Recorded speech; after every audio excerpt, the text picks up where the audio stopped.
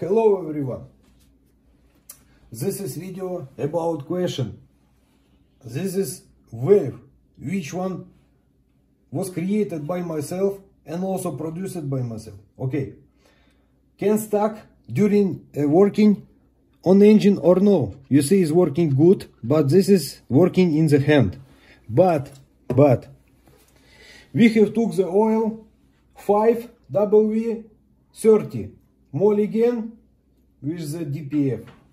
Okay, we have warmed oil until above the uh, working uh, working temperature. Now is uh, 121.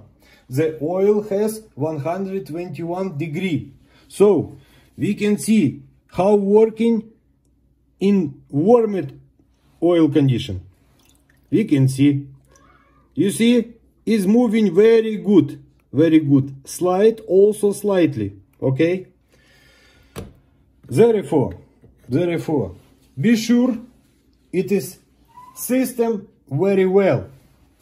So, this is valve you can replace for this is plug from Mercedes-Benz it is original. Ah, this is solenoid valve which one responsible for the uh, piston cooling system. You can replace by this is my uh, relief valve.